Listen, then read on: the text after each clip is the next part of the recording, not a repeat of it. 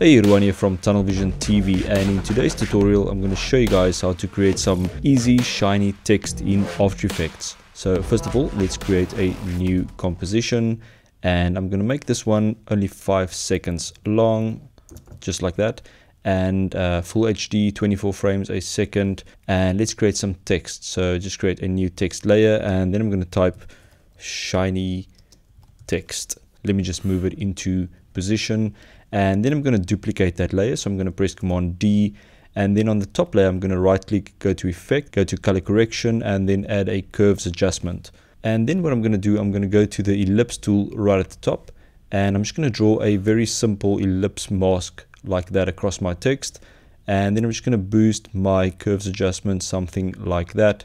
And then on that mask I'm just going to increase the feather amount let's say to around about 70 80 that should be fine. Then make sure you're on the first frame and I'm going to double click on my mask and I'm going to move that over to the side.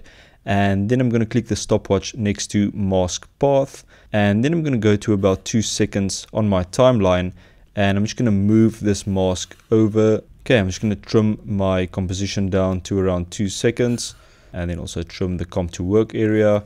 And let's just play that back so I hope you guys enjoyed this very very easy tutorial on how to create some shiny text in After Effects. If you like it please give me a thumbs up and if you want to see more tutorials like this one please click that subscribe button. Cool, thanks a lot for watching. I'll see you guys next time. Cheers, bye.